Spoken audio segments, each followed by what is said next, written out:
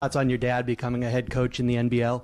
Extremely happy for him and proud of him. It's a big step trying to build his resume and his coaching career. Great to have him on board. I'm sure he's bringing a lot to the table.